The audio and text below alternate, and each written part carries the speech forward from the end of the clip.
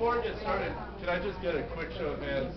Uh, anybody who's ever been fit for a pair of running shoes at a, at a running store before? Right, so just, just a few. Um, so what I want to talk about today is, is kind of how to select a running shoe. Um, what you don't want to do as we get into the heart of training, you don't want to go to a, a uh, kind general uh, athletic store and pick whatever shoe is prettiest off the shelf. Um, what's very important for, for us runners, our only piece of equipment uh, that's truly necessary is a, is a pair of shoes. Um, you want to make sure you're going to a running store uh, such as Potomac River um, to have take a look at your, your arches, have them assess you on the treadmill, running outside, whatever, um, so that they can match you to the right category of shoes based off your biomechanical needs. Um, basically, you, you'll come into the store, um, there'll be three general categories of, of running shoes.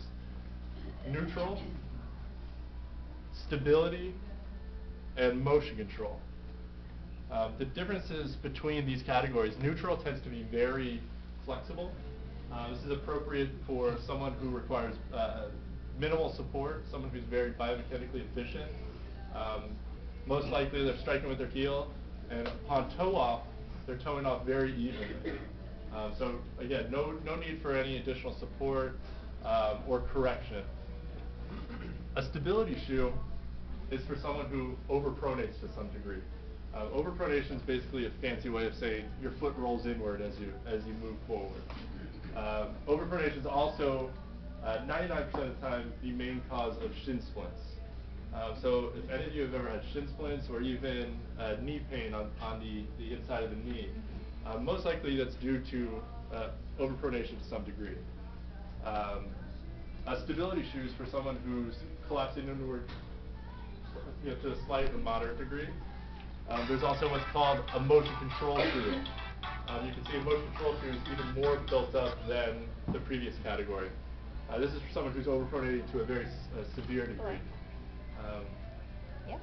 Speaking in terms of arch type, usually someone with a, a very flat mm -hmm. foot will yep. be put into a motion control shoe because again, they're most likely the, the folks okay, that need that's, that's maximum sure support. Now, using the archetype is not always 100% accurate, which is why okay, um, we're well, watching in forward motion as well. Um, some people with flat foot, with flat feet, are, are perfectly efficient. Okay, great. Hopefully I'll see you um, Saturday. However, you want to make sure your feet are getting looked at, you're getting looked at in forward motion, and then uh, getting matched to the right category of shoe. Once you're in the right category, there's, there's a, a ton of brands out there that are uh, very reputable. Um, being being a New Balance guy myself, uh, they're they're my employer, so New Balance is the best. but no, all, in all honesty, any of these brands are going to work well for you. Um, you want to go based off feel. You want to let your foot decide. Um, it doesn't matter that you're in an ugly shoe. No one's going to care. Uh, you want to make sure it feels feels right on your foot. Um, most likely, you'll try on three or four from each brand. Um, each brand's going to fit your foot just a little differently. Um, you'll notice, you know, slight variations in the overall fit. You also notice slight variations in, in the cushioning systems. Um, so cushioning is key. You know, if you if you have if you've had general aches and pains in your joints uh, in the past uh, during any exercise activity, you want to go with a shoe that is a little more high cushion. Um, kind of help absorb some impact. Uh, for the training we're going to be doing, we're going to be running predominantly on pavement, um, with the exception of our runs at Fletcher's Boathouse. Um, so a high cushion shoe does have uh, value. Life of the shoe. Um, a lot of people say, oh yeah, I got, I got a good pair of running shoes. Well, you got them four years ago. Um, a, a running shoe for the type of training we're doing will last you about one training period. Um, so you buy a pair now, they should last you through the end of the race. Um, if you should do a race after that, you probably want to replace them. In terms of mileage, they're, they're, they're going to be good for about 350 to 4, 450 miles. Depending on the person, depending on what type of training you're running in, um, depending on whether you're, you're wearing them at the gym, in addition to your running, uh, and so forth.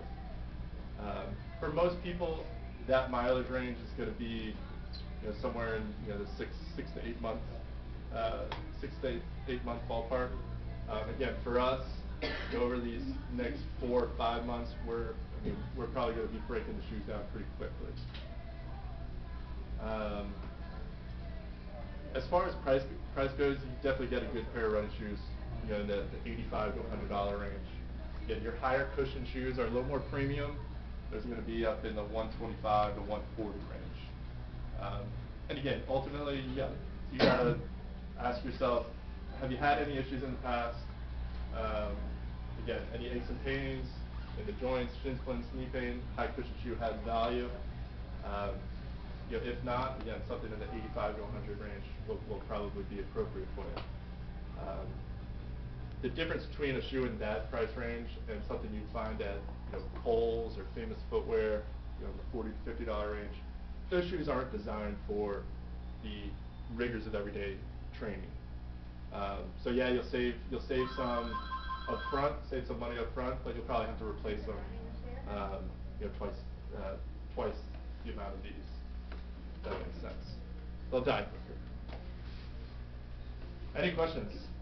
About heavier runners. Heavier runners, again, you know, it's, uh, there's, you know, four hundred pound NFL linemen that are very biomechanically efficient. Um, so it, it really depends on your foot strength. Um, usually, heavier runner will wanna go toward, you know, something a little more high cushion, a little more premium. Um, especially if you're just starting off or returning to the sport, um, you know, it might not be a bad idea just to kind of absorb, absorb some of the impact. Um, again, just to walk you through what Potomac River does, uh, they've got a foot scanner here. Um, so you come in, the foot scanner will analyze your arch type and measure your foot. Um, once they've got you down, they'll, they'll pull you a test shoe. Uh, usually the test category is the neutral category, because that'll give us a good sense of uh, what, what your, uh, what your gait looks like. They'll put you up on the treadmill, the treadmill is linked up to a, a video camera right behind, and it'll show your, your foot strike at a, at a comfortable speed. Um, and then again, once they, they pair you to a category, they'll have you try out some, some shoes. Quick note about sizing, usually you go up half to full size from your casual shoe. Um, men really don't have a- an issue with this, some women do. Okay, so don't be surprised if you're an eight in your loafer and we bump you up to a nine. Not a big deal, just a number. Uh, no one's gonna call you out for it. Any other questions?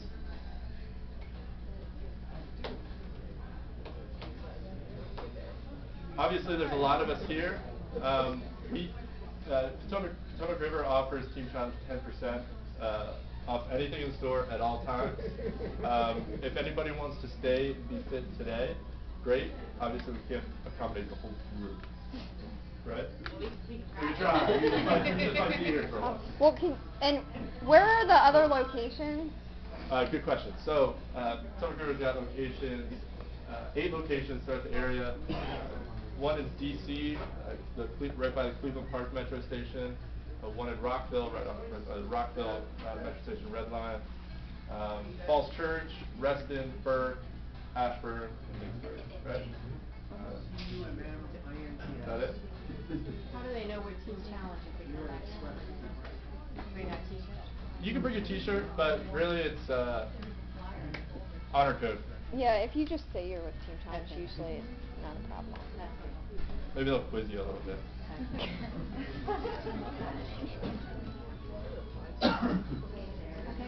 Um, I don't know, Lisa, does JT have the handout?